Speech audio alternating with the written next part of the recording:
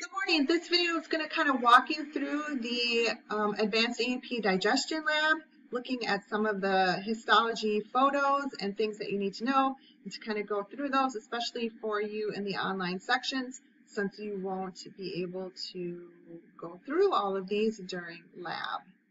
You can follow along in your lab packet or any um, potential supplementary diagrams that I have included that would allow you to label these and we'll just kind of go through based on, go through each objective one through seven, I believe.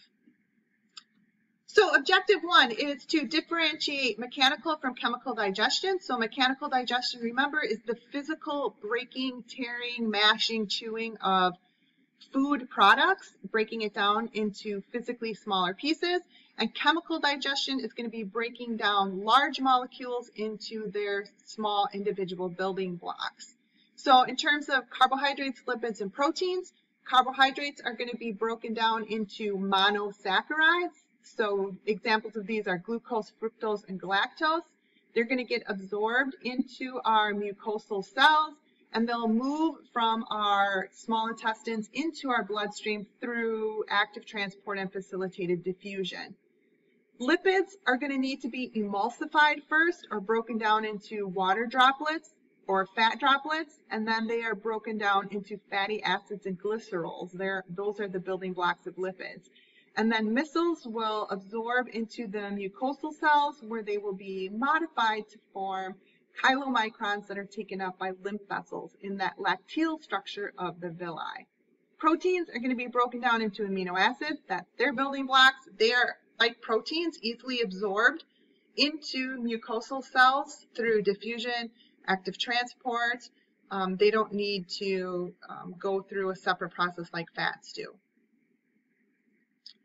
Objective two, on a microscope slide, model or diagram, identify the following regions, organs, structures, tissues, and cells of the alimentary canal or the GI tract.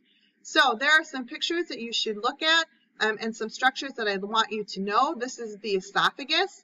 Here is the smooth muscle. Remember that there are four tissue layers in all of the GI tract. There is the serosa, the muscularis externa, which contains two layers, the longitudinal muscles and the circular muscles, the submucosa and the mucosa layer. So here is a picture of an esophagus. It's important to understand that the esophagus will be lined here with the mucosal layer is going to be stratified squamous epithelial tissues and this is really important because we want it to be stratified, meaning that it has more than one layer because we have food that's constantly rubbing up against it and a lot of friction. And so this is going to help protect the underlying tissue layers. And then there's a smooth muscle here, which is going to be responsible for those alternating contractions or peristalsis that will push the food through the esophagus. So again, here's a picture of the stratified squamous right here, and then here's the smooth muscle both the stratified squamous and the smooth muscle significant to what the esophagus's job is. Looking at a stomach, the stomach is going to have a columnar epithelial tissue, simple columnar. So this, the type of cell is going to be different than that of the esophagus. It is going to have gastric pits, so you can see these indentations here. Now you're going to want to be really careful that you don't confuse these with the villi and the small intestines, but you know, the gastric, these gastric pits are much more shallow than the villi. So that's kind of your um, giveaway. So again, the mucosa is going to be lined with simple columnar. So we are going to have some absorption and secretion taking place. So we don't want to have all of those different layers like we did in the esophagus. There are gastric glands that are going to be responsible for releasing hormones located within the stomach tissue. And then again, there's going to be smooth muscle that you can't actually see. It would be down here below. That's going to allow the stomach to churn without us having to think about it. Again, here's a surface view of those pits, the gastric pits, kind of interesting to, to look at. On the small intestines, look, you can see these. These are the villi, an important distinction of this type of tissue. So look for that. A is showing you the intestinal villi. So here is an actual is an actual villi. These will be made of simple columnar tissues as well. Then you have the smooth muscle, which is C right down here. And then here you have these patches called Peyer's patches, which are going to be lymphatic tissues.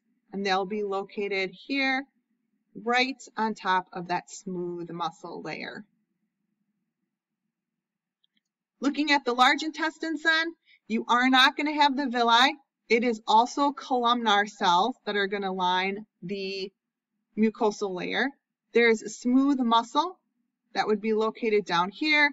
And these big white blobs here are goblet cells, and their job is to secrete mucus.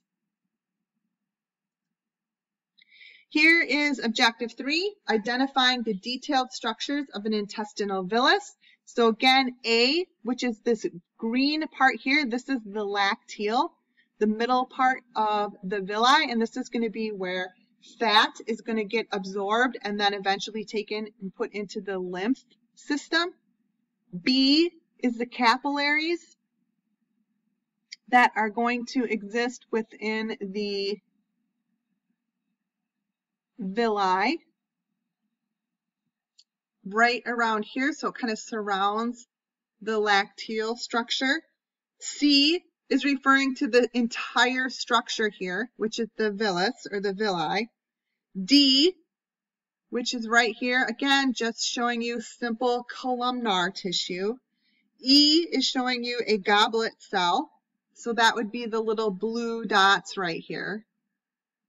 Goblet cells which secrete or make mucus. F is showing you a Peyer patch. Okay, so it's going to play a role in lymph structure. And then G down here is showing you the smooth muscle. So that's the model of an intestinal villi. And then there would be tiny little microvilli all along that as well. Objective four is identifying the parts of the salivary glands. So this is a histograph of a salivary gland you can see that under A are the different alveolar cells.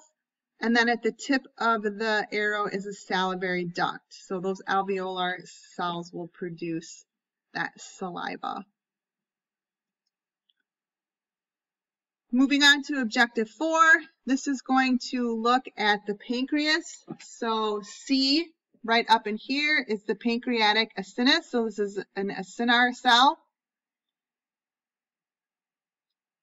A is just showing the endocrine section of the pancreas, like so endocrine cells of the pancreas. C, because this is the acinus, is actually an exocrine cell. So this is going to represent the pancreatic islets or the islets of Langerhans right here. D is showing you the pancreatic duct. And B it's just a capillary.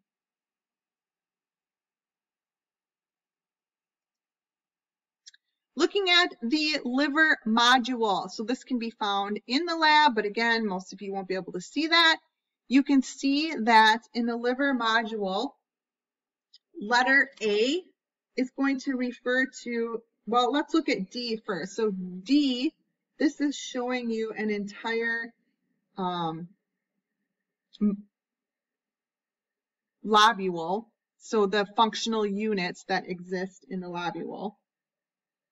So if you look at, that's the entire structure in the red square here, okay?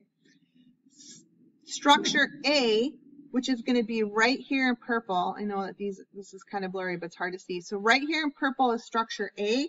That's going to be a sinusoid. So here's a sinusoid, here's a sinusoid, here's a sinusoid. Then you're going to look at structure B, which is right in here, which is the branch of the hepatic portal vein. You can look at hepatocytes, which are going to be labeled C, and these are going to be all of these structures right here. D is the central vein. At the tip of the red arrow here is the Kupffer cell, which is going to be responsible for breaking up red blood cell debris. And at the tip of the black arrow is going to be the bile caniculi. So these right here, these long black lines. Going to objective six, describe the function of each of the following. These are going to be the different glands slash cells that exist in the digestive tract. So the salivary alveolar gland is going to make a salivary amylase, which will help um, start the process of breaking down carbohydrates. Pancreatic acinar cells or glands going to make pancreatic amylase, again, to help start breaking down carbohydrates. The pancreatic islet alpha cells are going to produce glycogen, which will be released when blood sugar levels are low in order to increase the blood sugar levels. The beta cells will produce insulin, which gets released when the blood sugar levels are too high. So when you eat something and all of that sugar that's in that food, that carbohydrates enters into your blood supply, your blood sugar levels increases. And so then your pancreas will produce, the beta cells will produce insulin in order to facilitate your cells to basically take in that glucose and lower your blood sugar level. Hepatocytes take in and process nutrients and chemical substances. And then hepatic macrophage or the Kupffer cells remove cellular debris and help engulf bacteria that might be in the blood supply. And that all would be in the portal, hepatic portal circulation. Looking at objective seven, which again refers to the hepatic portal circulation. So the gastric veins are going to be over in here. The splenic veins will be over by the spleen down in that particular area. The superior mesenteric vein, which is going to be right down here. Then you have the inferior mesenteric vein, which will vein, not brain, vein, which will be over in this area. The hepatic portal vein, which is right here, and then the hepatic veins, which would be up in this particular area. And all of these things are going to play a role in, remember, the nutrients get absorbed into that blood into the blood supply from the small intestines and large intestines, but then that blood actually goes into this separate circulatory system called the hepatic portal, where it will be, those nutrients will then get pulled out as well as other waste products through this circulatory system and then dumped back in to the blood supply where it can be then taken to all the other cells of the body. This picture is really important. I guarantee you will see these and you will need to identify them. These were the four major organs that we talked about. And even though they are all made of the four same tissue layers, the um, mucosa, submucosa, muscularis, and the serosa layer, there are differences in them and you need to be able to identify them. So this is the esophagus with the stratified squamous, remember, because we need the extra protection as food pushes through. This is the stomach with the gastric pits in it. And then it would be columnar cells that line those gastric pits or that tissue, that, that mucosa.